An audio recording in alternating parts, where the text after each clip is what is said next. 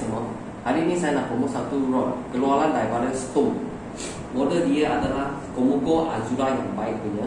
So water jigging model casting. So ini adalah bentuk rod dia. Okay, cantik. Ini adalah casting dia model.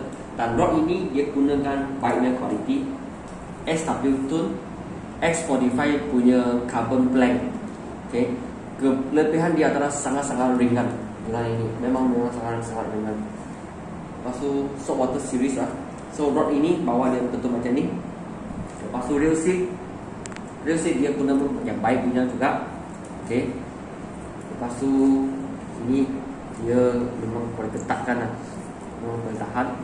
Lepas tu cincin dia pula dia gunakan ini fast light ring daripada Fuji. So ring ini dia sangat-sangat mahal dan kualiti sangat-sangat bagus. Okay. So cincin untuk uh, rod ini dia ada 1, 2, 3, 4, 5, 6, 7, 8, 9 Total ada 9 biji cincin. So rod ini dia mention adalah P13 Mesh jig yang dijarang pakai adalah 160 gram. Panjang joran adalah 6 kaki 3 inci. Okay. So boleh nampak dia mention Rod dia Okay, rod dia ringan, uh, action dia cantik, boleh nampak. Okay, dia memang uh, top part dia adalah sensitif punya. Okay, so dia quality premium. Lepas tu joran pun sangat-sangat ringan. Okay, Storm Adura ini kita pun memang jarang pakai. Kalau jika uh, pakai quality mesin yang bagus, Storm Adura ini adalah rod yang sesuai pasang. Okay.